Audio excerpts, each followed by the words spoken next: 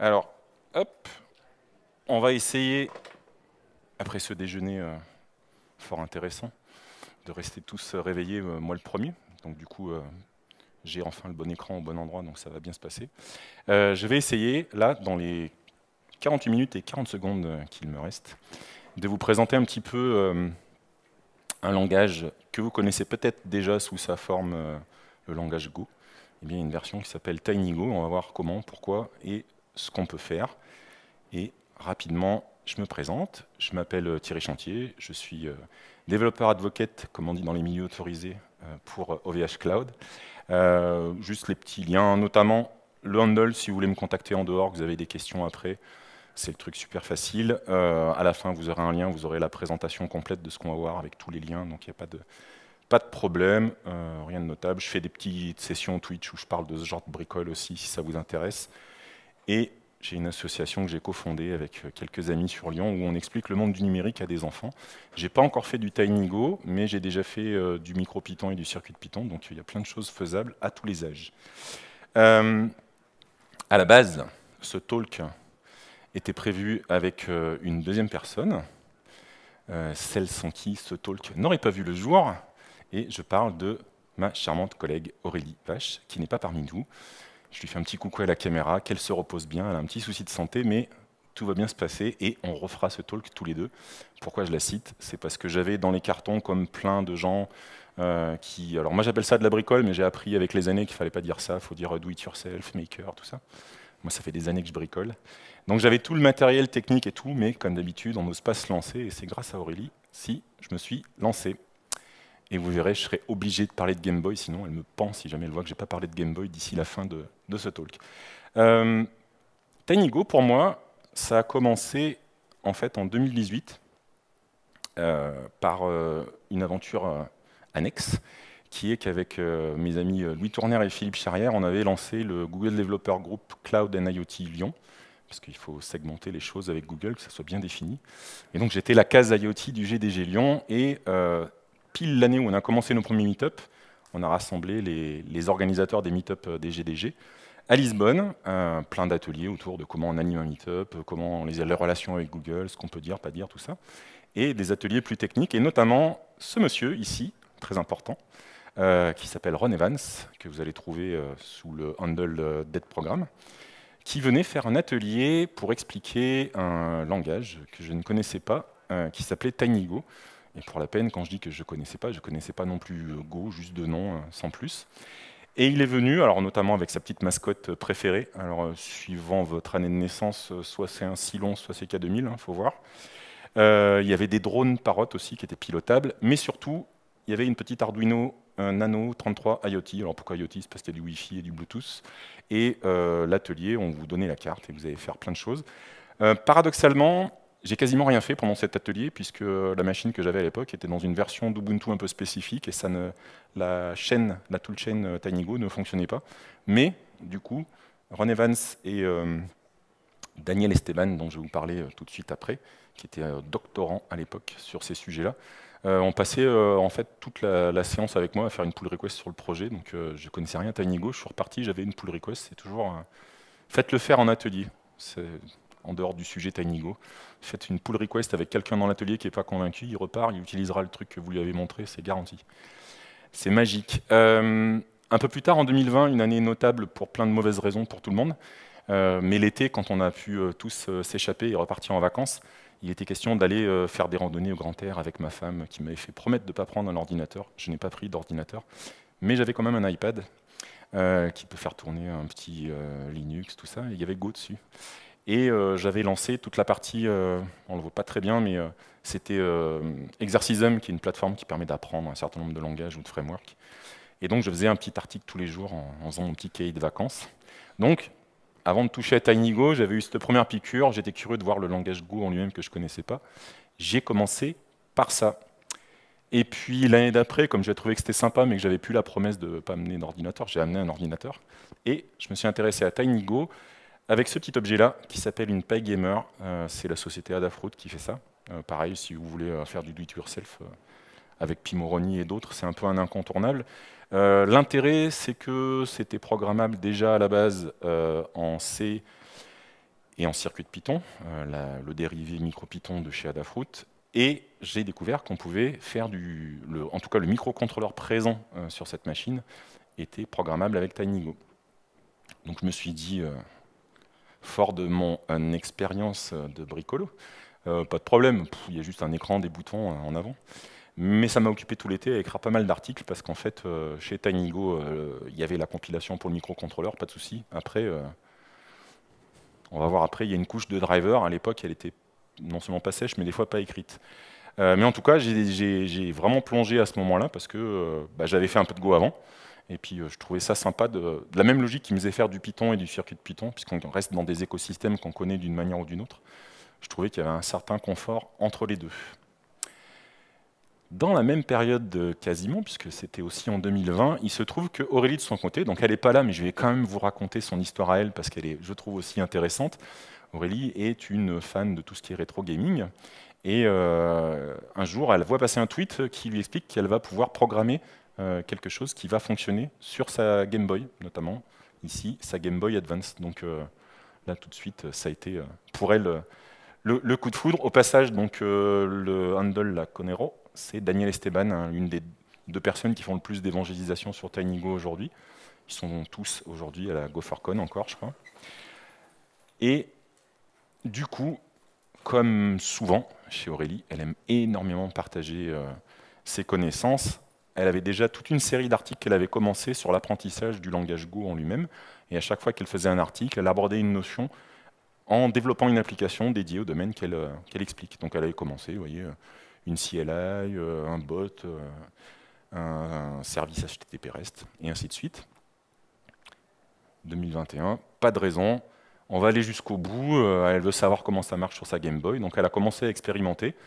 Elle a échangé énormément d'emails avec, avec Daniel, parce que là, déjà TinyGo était en cours de maturation, on va voir l'histoire du langage lui-même, mais c'était vraiment pas sec du tout, et toute la partie qui concernait les différents drivers, là c'était assez spécifique, puisque la Game Boy a quand même quelques années, et euh, autant il y a des choses qui ont perduré en électronique, autant là, euh, on tombe sur, des circuits qui sont quand même un petit peu particuliers.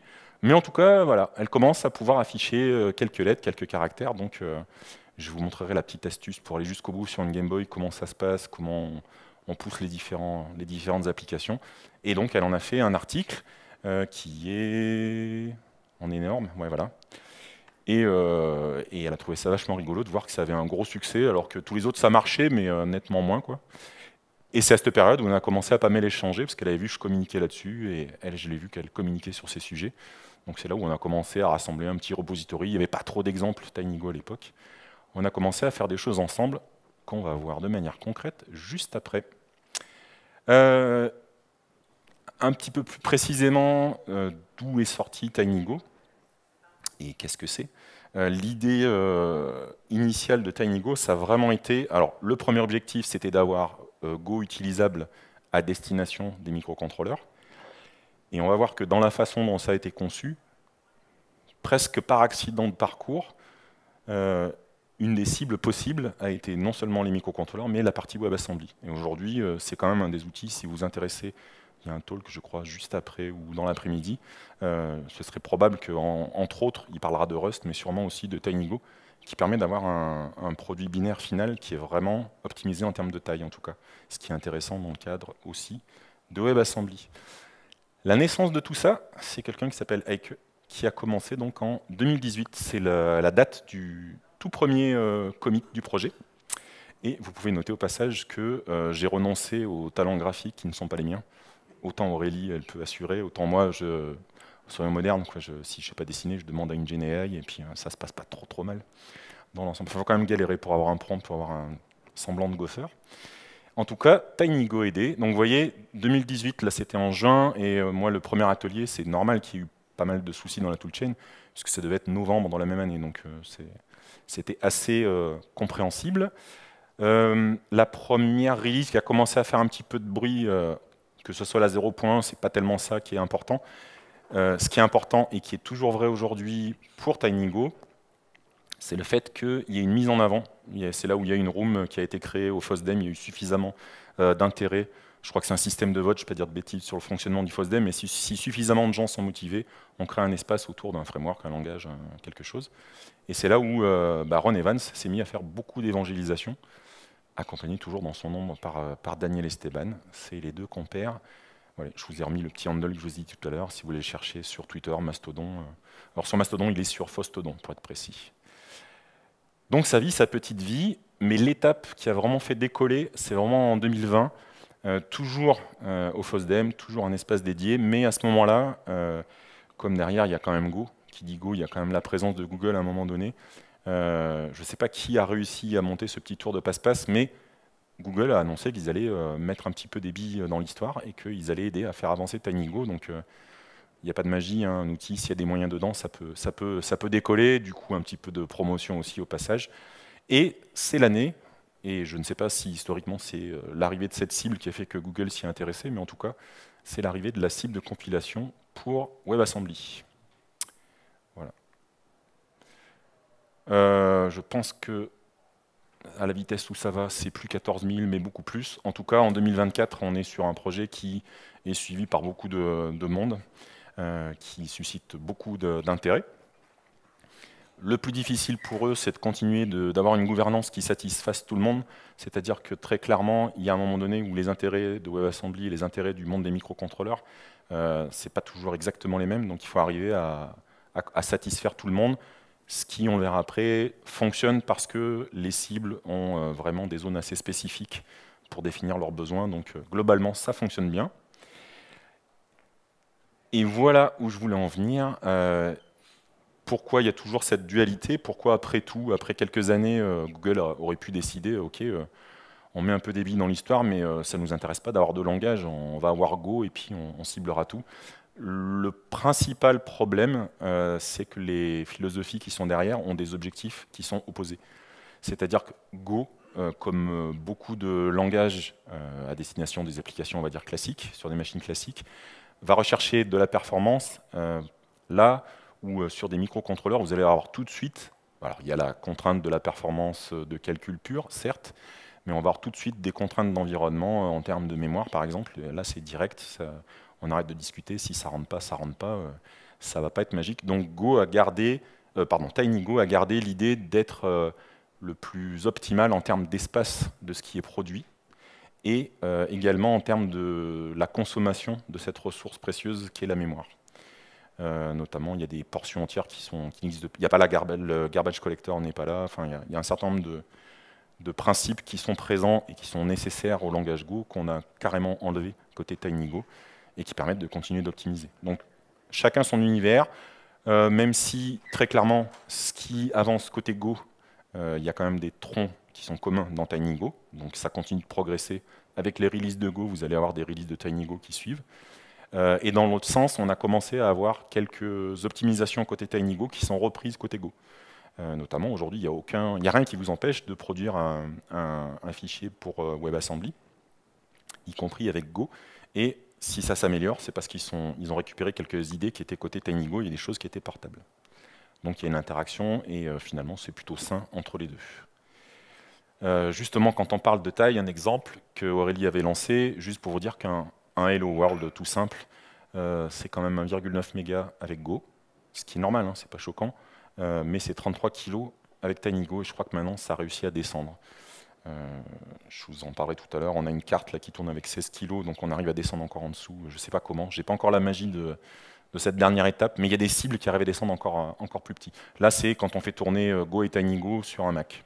Donc il y a aussi ça qui joue dans l'histoire. Ça, c'est pour vous montrer qu'une IA, il ne faut jamais la croire jusqu'au bout. Hein. on fait une petite parenthèse IA au passage. Ça, je lui ai demandé, de, à partir d'un schéma où il y avait quatre boîtes et trois flèches, je lui dis, généralement quelque chose de plus joli à la base de ces quatre carrés où tu mets tel texte et tu me fais trois flèches. Donc on voit que déjà le nombre de flèches, euh, c'est parfaitement maîtrisé, elles sont à double sens de partout. Donc euh, en même temps, la machine a dû comprendre, l'IA, que euh, je ne maîtrisais pas du tout le sujet qui était vraiment dessous pour la partie compilation.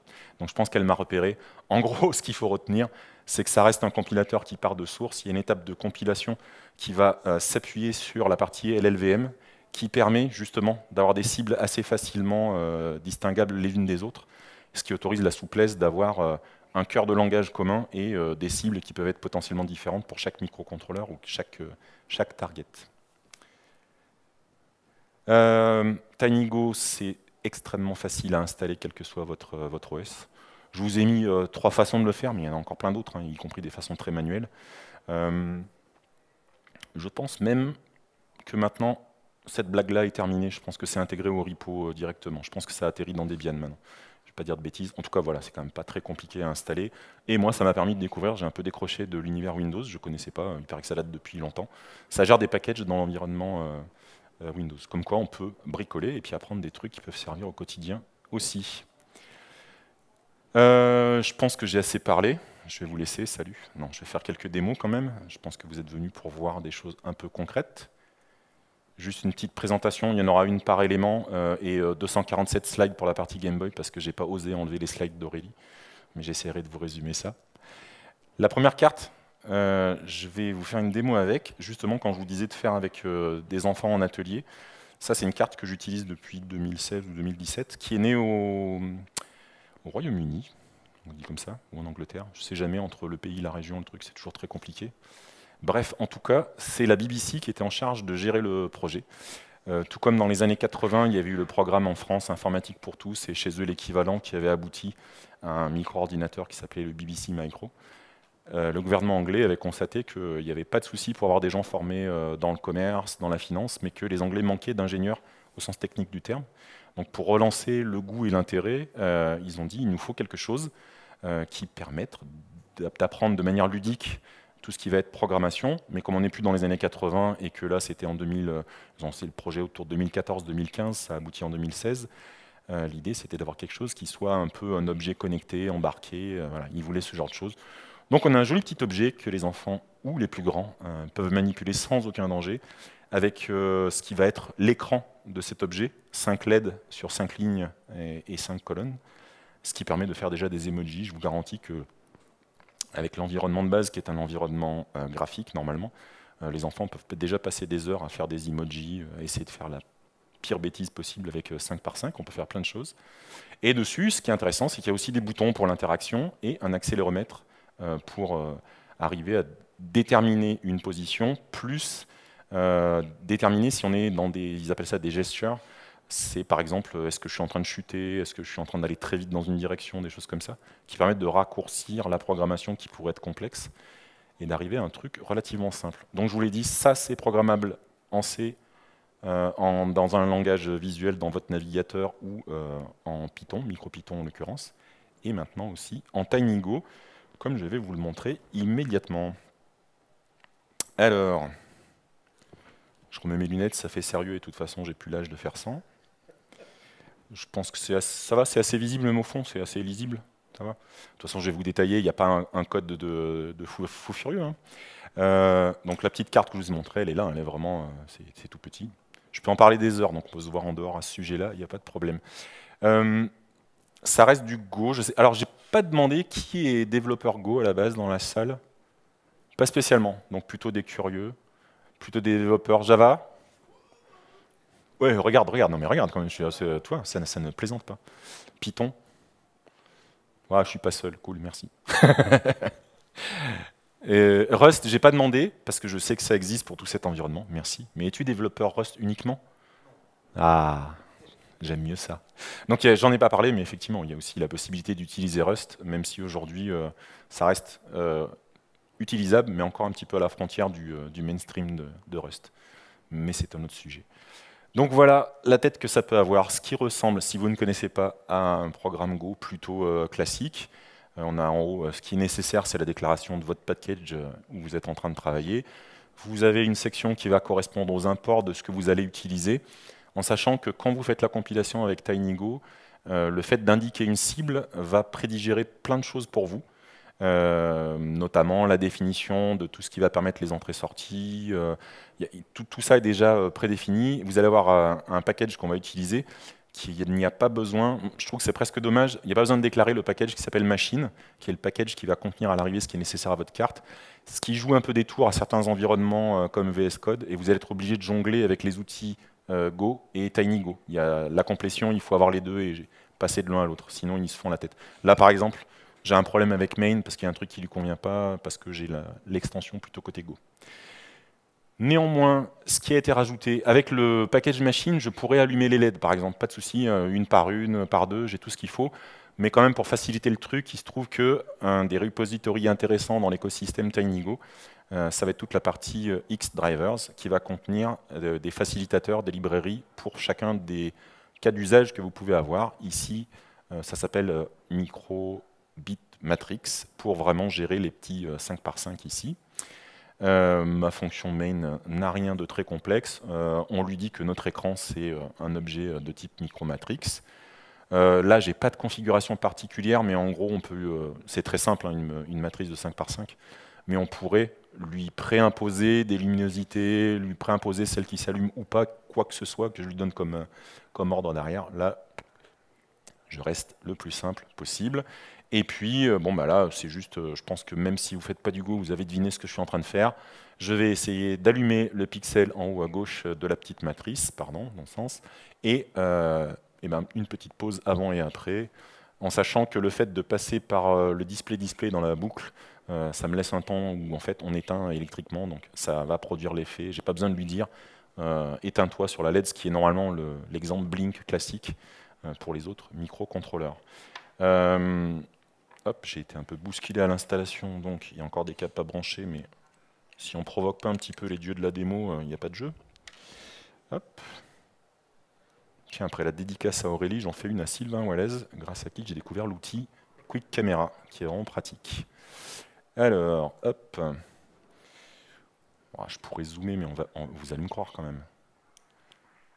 j'ai des témoins devant, hein, ce que vous voyez sur la caméra, c'est bien, c'est bien, voilà, c'est bien la carte. Euh, derrière, on voit que ça clignote. Euh, c'est un défaut de la microbit dans cette situation-là avec ce que je lui ai flashé dessus. Enfin bref, c'est pas très grave. Normalement, elle clignote quand on est en train de lui flasher un nouveau firmware. Euh, à la différence d'autres où on va pousser un binaire, la carte microbit, quelle que soit la façon de l'utiliser, même en Python, même, on pousse à chaque fois un firmware complet. c'est comme ça que ça a été pensé. ça simplifie pas mal d'étapes. Alors, je vais vous le laisser là, ou on va le mettre dans le même bon sens, il n'y a pas de raison. Voilà. Et hop, la compilation. Hop. Voilà, on est sur le bon. Donc j'indique euh, tout en bas, vous voyez, je l'ai fait plein de fois hier, hein, vous voyez tout ce que j'ai testé avec, sans, je l'ai éteint, je l'ai allumé, euh, pour être sûr que j'allais vraiment me planter là maintenant quand j'appuie sur la touche entrée. Le principe de TinyGo, vous avez euh, la possibilité soit de builder ce que vous avez à builder, si vous voulez garder le firmware et puis le, flasher sur plusieurs, plusieurs devices, ce qui sera le cas d'un vrai projet au final généralement. Vous n'avez pas un seul device, sinon c'est que vous vous êtes trompé, vous n'êtes pas en train de travailler, vous êtes comme moi en train de vous amuser et c'est parfait. Euh, et on peut flasher directement et l'intérêt de l'instruction flash dans TinyGo, c'est qu'au maximum, suivant les cibles, euh, ça essaye d'encapsuler toutes les petites subtilités de tous les microcontrôleurs et la façon qu'on a de pouvoir les flasher. Globalement, ça facilite vraiment le boulot de passer par l'instruction flash. Sinon, vous pouvez toujours faire build, prendre le binaire qui en résulte et utiliser l'outil classique qui correspond au microcontrôleur que vous utilisez et vous allez flasher votre binaire. Donc c'est parti. S'il ne me fait pas la tête, voilà, on voit que ça a flashoté derrière. Et donc, waouh Je le fais à votre place parce que vous n'avez pas la caméra. Hop, on voit la petite LED qui clignote. Waouh, c'est pas, pas super fort, j'aurais pu zoomer un petit peu. Hein. Donc voilà, vous, ça part à rien, je vous jure que n'importe quel débutant en atelier, c'est un grand moment de vérité quand ça clignote. C'est le Hello World de l'embarqué. Euh, je vais quand même vous montrer quelque chose d'un petit peu plus euh, avec cette carte toujours. Hop, ce coup-ci, il se trouve que euh, la V2, euh, au plus grand plaisir des enfants en atelier et moins des bénévoles qui animent les ateliers, comporte maintenant un, micro, enfin un micro euh, composant. Donc en fait, ça sait surtout détecter les volumes sonores et pas tellement le son en lui-même, et un buzzer à côté. Ce buzzer est donc utilisable. C'est ce que nous allons faire maintenant. Euh, là, c'était juste pour vous montrer qu'on peut aussi rajouter machine qui fout en vrac le, plugin d'extension Go, mais qui change strictement rien au reste qu'on le mette ou qu'on le mette pas, étrangement, ça, fonctionne. Donc il y a une magie de TinyGo là qui m'échappe, mais peu importe. Et on est allé prendre un driver qui est capable, en fait, euh, ni plus ni moins, le buzzer, c'est juste une broche sur laquelle vous allez faire varier euh, votre courant, en fait. Mais euh, plutôt que de tout réécrire, c'est quand même plus facile d'avoir quelque chose, vous allez voir tout de suite, qui va dire bah, tu m'envoies telle fréquence pendant tant de temps, et c'est quand même un peu plus simple si le but euh, est de faire un petit morceau de musique. je vous montre le main et puis on verra pourquoi j'ai rajouté ça après. De la même façon que tout à l'heure, on va déclarer l'objet. alors d'abord la broche qui va nous servir. La broche est prédéfinie puisque TinyGo, dans la cible microbit, vous définit ce qui va correspondre à la broche du buzzer. Et euh, on va lui dire, ben, maintenant qu'elle est configurée en mode output, cette broche, ce que vous avez la ligne 25, j'en fais un buzzer, et à partir de là, je déclare un tableau qui va contenir toutes mes notes, les notes étant euh, une tonalité et euh, à côté une durée. la tonalité, c'est plutôt que de mettre la fréquence, le package buzzer vous permet d'avoir déjà prédigéré un certain nombre d'octaves avec les notes classiques en notation anglo-saxonne, ABCDEF. Et derrière, j'ai juste à parcourir ça et euh, je pousse euh, ces lignes 53. La fonction tone me permet de donner une tonalité et une durée.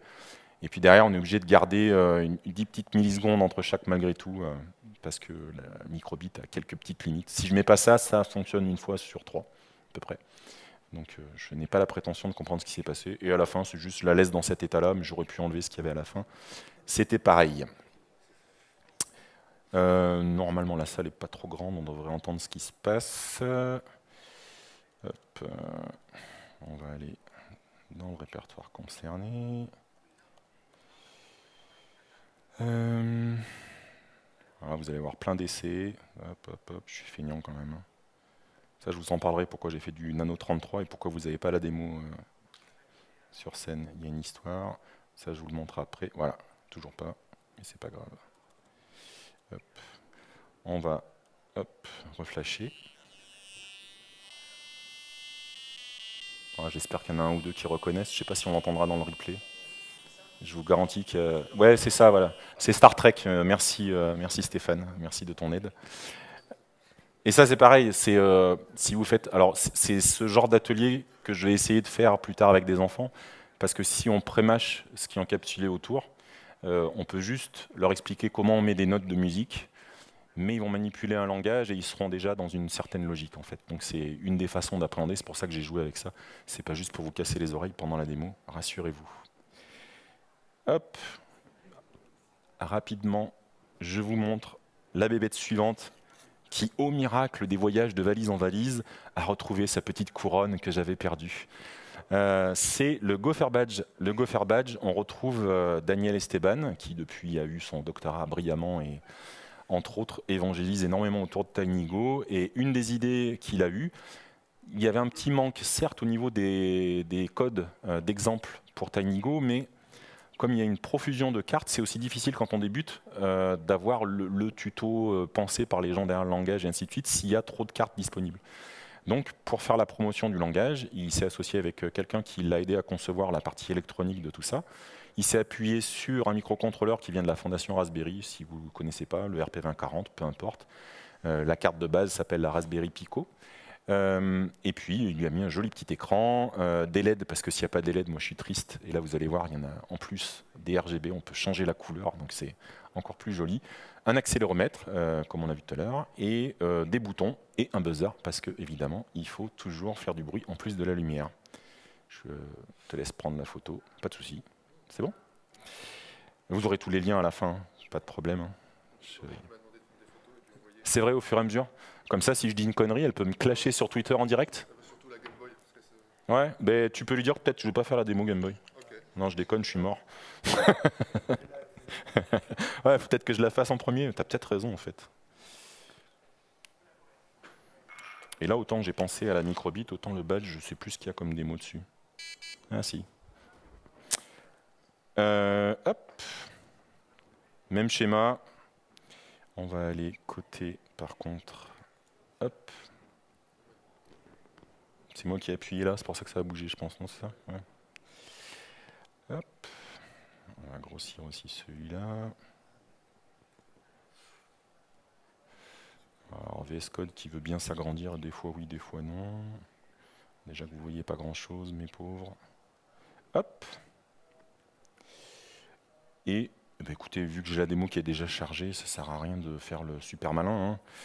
On va retrouver donc un repository qui va être justement, c'est tout l'intérêt d'avoir conçu ça pour Daniel, c'est qu'en plus évidemment du côté matériel qui du coup est parfaitement maîtrisé puisque c'est lui qui était à la conception, il a toute une série non seulement de tutoriels qui étape par étape va vous apprendre à piloter chacun des éléments présents sur le Gopher Badge, plus euh, quelques applications, il y a quelques petits jeux, euh, des choses assez sympas avec, ce qui lui permet d'avoir toute une gamme de progression pour un débutant, qui est ce qui manquait clairement jusque-là euh, sur la documentation de, de TinyGo. Donc bah, on reste sur le même type, hein. je vous ai remis machine, time, après tout est dans machine, encore plus pour le Gopher Badge, quelque part, c'est un peu triché parce que du coup, comme c'est son produit, bah, il a la cible où il va vraiment tout mettre dans le package machine mais euh, par rapport à la philosophie du reste, c'est un peu moins clair. Vous allez avoir du coup directement toutes les broches qui correspondent aux boutons, euh, le fait de les configurer en mode input. Vous allez retrouver comme tout à l'heure, alors ce coup-ci c'est pas buzzer, c'est speaker, mais l'idée est la même et la qualité aussi comme vous l'avez entendu, hein, c'est juste euh, des tonalités ponctuelles.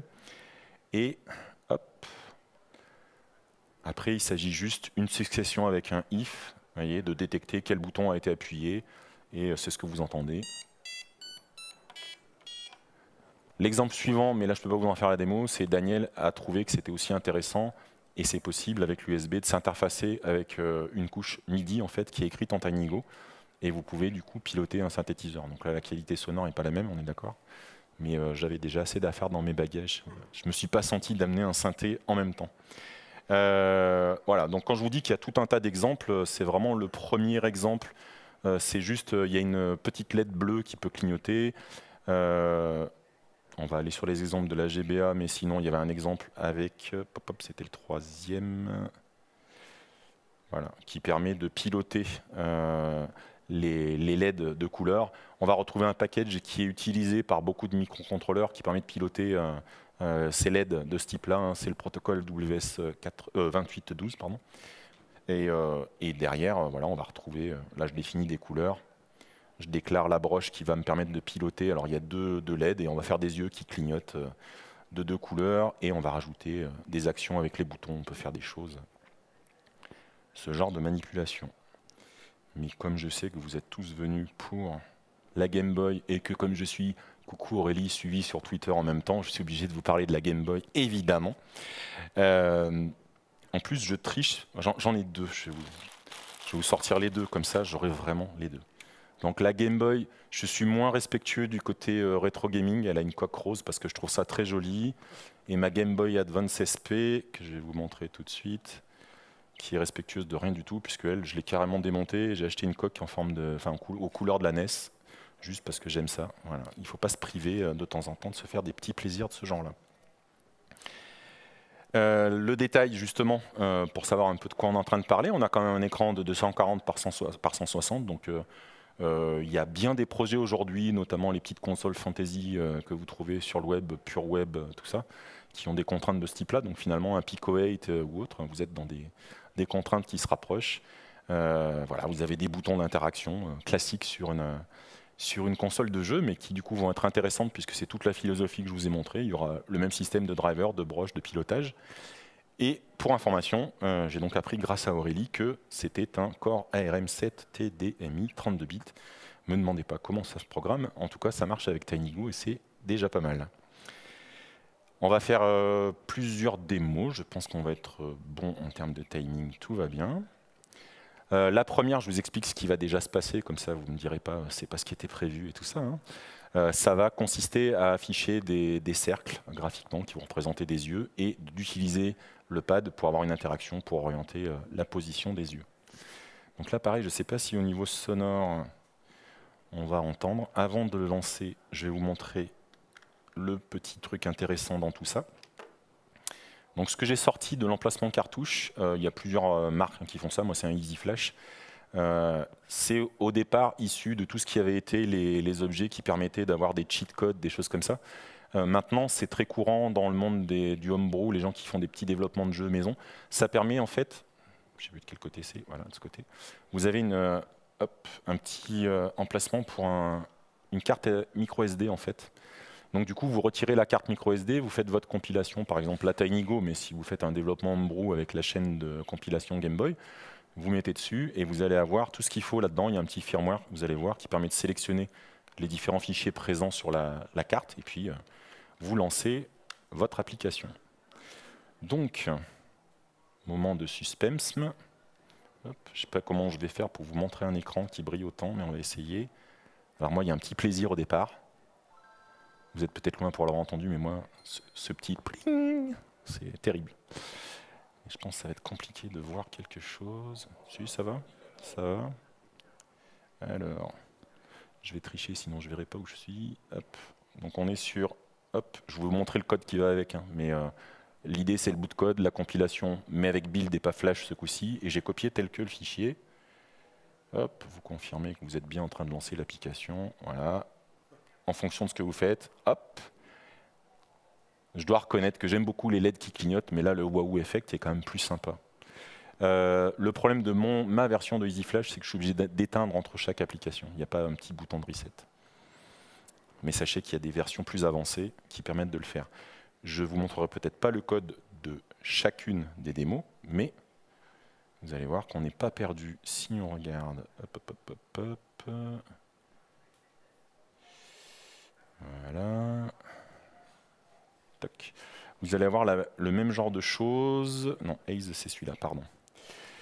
Et vous allez avoir alors, un package qui n'a pas été incorporé pour l'instant dans Machine, mais qui devrait normalement aboutir à, être intégré dans Machine, et ça a permis une collaboration en dehors du langage TinyGo, qui est le package TinyGBA. TinyGBA va vous abstraire d'un certain nombre de, de configuration de code, par exemple, pour le driver qui permet d'accéder à l'écran. Là, vous allez créer un écran de manière beaucoup plus simple et ce genre de choses. Par contre, la librairie qui est au-dessus est intéressante. Elle marche notamment avec la PyGamer que je vous ai montré euh, dans mon petit process là autour de TinyGo. Euh, c'est une librairie graphique qui a des primitives graphiques euh, ligne, triangle, carré, cercle, en version pleine ou pas pleine. Et ça permet déjà de, faire un certain nombre de choses. Les yeux sont faits avec ça, c'est des cercles pleins un blanc, un noir, et on, fait, euh, un œil. Ce qui est historiquement, euh, c'est pas une gruge qui est faite là. Hein. Le monde du jeu vidéo est euh, ça aussi, ça a été mon premier travail. C'est truffé d'astuces, de, choses de ce genre-là. Le but, c'est que vous ayez une perception qui n'est pas forcément ce que vous avez réellement codé derrière, on s'en fout. Il faut que vous ayez la sensation de manipuler quelque chose de, réel. Voilà, quand je vous dis qu'on récupère le display, c'est aussi simple que ça. Le main pardon, est ici. Euh, comme Aurélie fait les choses très très bien, elle a tout mis dans deux fonctions euh, séparées. Vous avez la configuration initiale, vous voyez, il n'y a rien à faire. Euh, il y a le tracé des yeux et après il y a la boucle qui se contente d'attendre quand même la synchronisation d'affichage de l'écran puisqu'il y a une bascule de mémoire jusque sur l'écran. C'est comme ça que ça marche sur la GBA en tout cas. Et ça permet d'avoir les cycles et les deux fonctions. On peut les regarder rapidement. On va regarder l'état des touches. Euh, avec l'état des touches, eh ben, on saura euh, si on trace les yeux à gauche, à droite, en haut, en bas, et ainsi de suite. Et voilà toute la magie de cette démo précise. Pour vous montrer, hop, la suivante, c'est juste pour vous montrer que la petite astuce suivante a été d'utiliser d'autres packages qui permettent d'afficher du texte avec TinyGo. Vous allez avoir TinyFont pour la manipulation des fontes. Après, vous avez des sous-packages qui correspondent à différentes fontes. Euh, vous verrez, j'ai des liens à la fin d'outils qui vous permettent de générer ces, fontes-là. en fait. Et il se trouve qu'il y a une fonte où il y a des, petits, euh, gophers, le, petit avatar symbole de Go. C'est ce qui a permis à Aurélie de faire la démo que je vais vous montrer maintenant. Euh, la boucle est la même que tout à l'heure. Et l'affichage, eh bien, elle va tracer, là ici c'est la librairie TinyFont qui permet de tracer caractère par caractère parce qu'elle voulait des tailles des couleurs différentes. Donc elle a affiché un par un. Mais si on veut afficher un texte, heureusement, on peut afficher une ligne d'un coup euh, de texte. Euh, on donne la couleur, on donne la fonte en avant. Et la petite astuce, les gophers que vous allez voir sont en fait euh, des caractères que vous allez utiliser comme des sprites en fait. C'est très expérimental la partie Game Boy, ça avance très lentement, mais évidemment les gens qui travaillent dessus veulent s'abstraire de plus en plus de tout ce qui était ces concepts un peu de gruge, tout ça, et on va avoir des vrais sprites petit à petit, mais ce n'est pas, encore le cas. Et donc quand on les affiche, c'est pareil, on va voir qu'avec les boutons, on va pouvoir faire des manipulations avec. C'est parti. Ah, j'adore ce bruit. Il n'y a que moi, mais c'est pas grave. Hein. Hop, on va sur Gopher. Hop. Donc vous avez hop, la fameuse fonte qui permet d'afficher Gopher dans toutes les couleurs. En dessous, vous avez le Press Start Button qu'on va appuyer immédiatement. Et à partir de là, vous avez le petit, euh, le comme dit Aurélie, et vous pouvez le déplacer sur votre écran. Alors ça clignote parce que c'est une fonte, mais je trouve que pour les capacités de la machine et la façon dont c'est codé, c'est déjà pas trop mal, je trouve. Et je vais enchaîner sur la dernière démo. On va reprendre le code, euh, honnêtement ça vaut pas le coup, je vous montre le détail. On va reprendre l'utilisation de TinyDraw qui a des primitives de tracé. Et on va voir si vous reconnaissez ce que vous allez avoir à l'écran. Je vous cache le nom de l'application. Donc je ne sais pas si ça évoque quelque chose pour certains d'entre vous.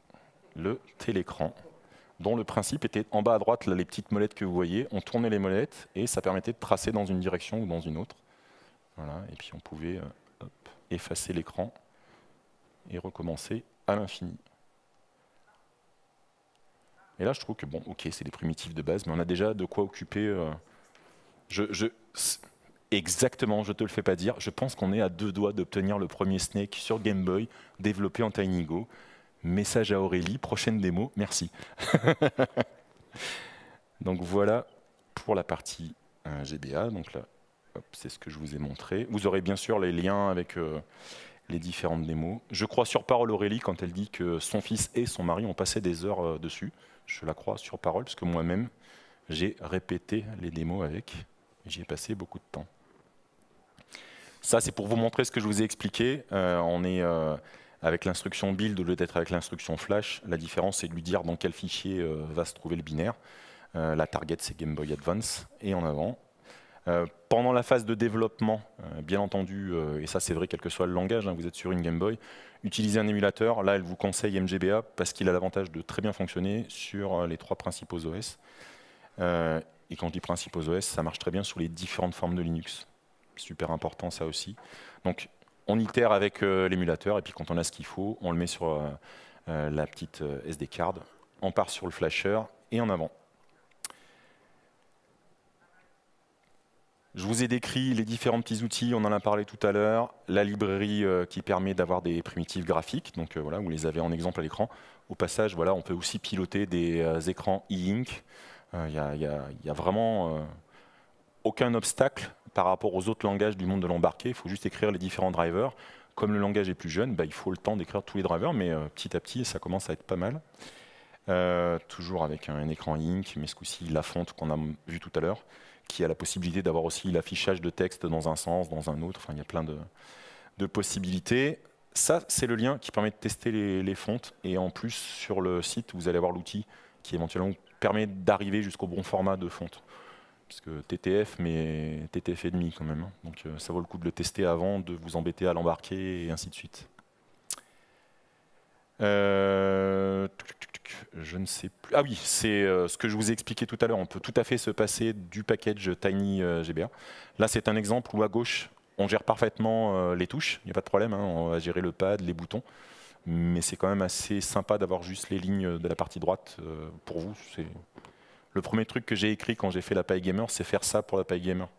C'est logique d'avoir ce genre de démarche. Et j'aime beaucoup le fait que TinyGo euh, soit en perpétuelle promotion sur leur Slack. Ils encouragent beaucoup les gens à faire ce genre d'exercice en fait.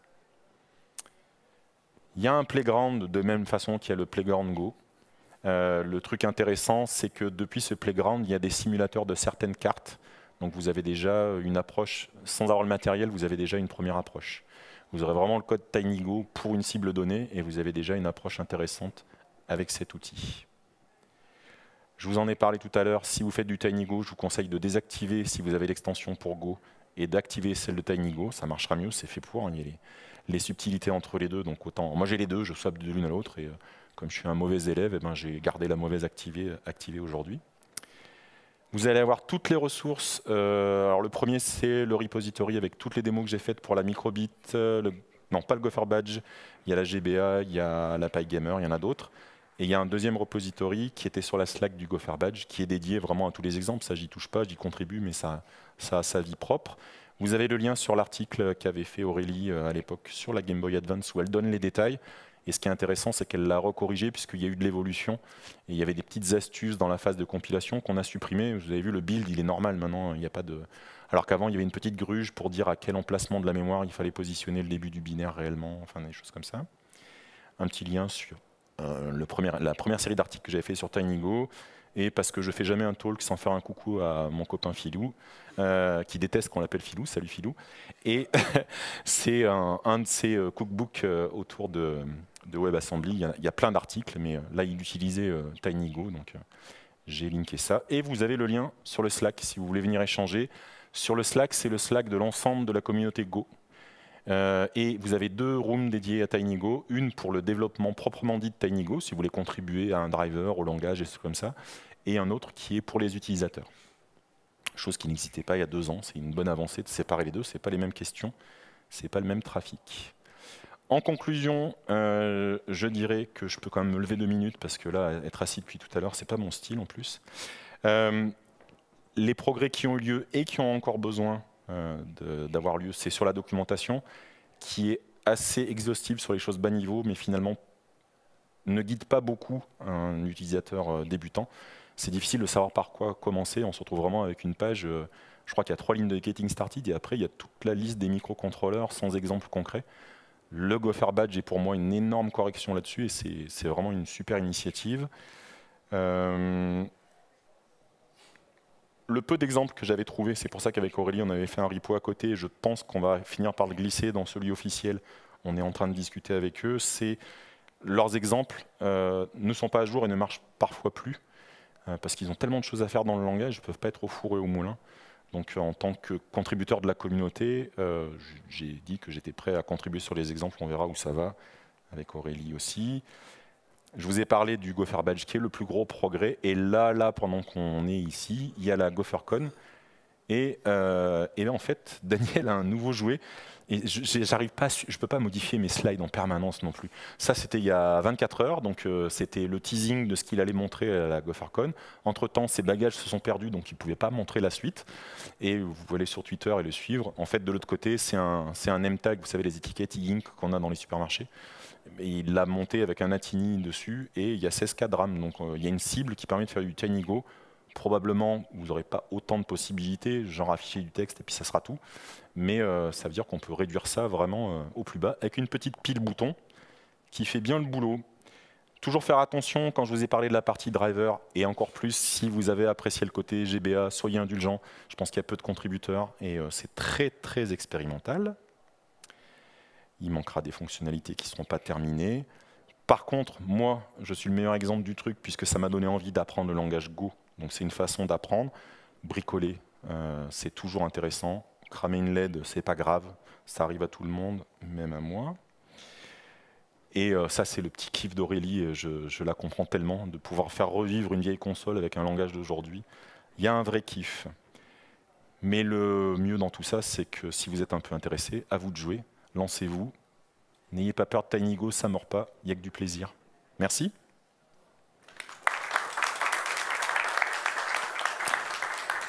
Et comme je suis un professionnel de l'extrême, j'ai 45 secondes pour des questions.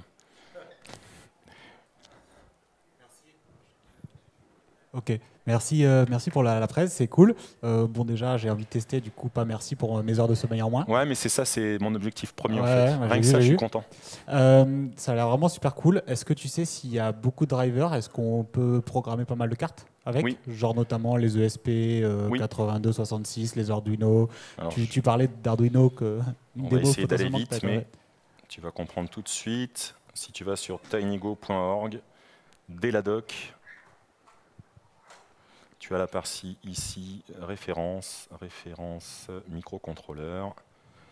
Voilà la liste des cartes et des, machines qui, ah sont, sont existantes. Donc euh, il y a vraiment une quantité intéressante.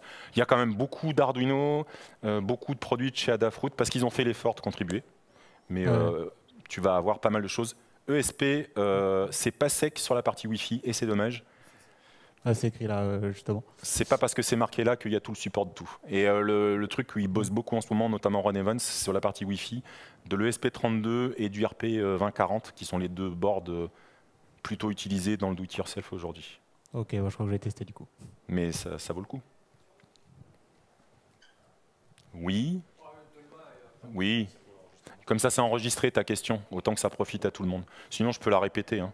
Je voudrais pas perdre de temps pour le prochain. Nous avons parlé de Rust là tout à l'heure. Est-ce que dans TinyGo, il y a quand même un peu de gestion de mémoire un peu spéciale ou c'est il faut faire à la C pour faire la gestion de mémoire? Non, non, c'est de l'allocation de variables. Euh, simplement, comme il n'y a pas le, garbage collect comme Go, il faut être. Mais c'est vrai pour tout l'embarquer.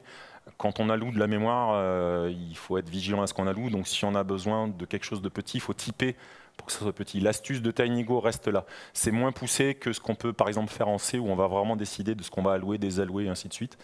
Et c'est sur la portée des fonctions notamment qu'on va euh, libérer la mémoire ou pas. Il faut jouer avec ça en fait. Euh, on ne peut pas descendre aussi bas qu'en C par exemple. Je sais, ça te désole Henri, je suis désolé. En Rust, on pourra aller beaucoup plus loin euh, dans la gestion de la mémoire.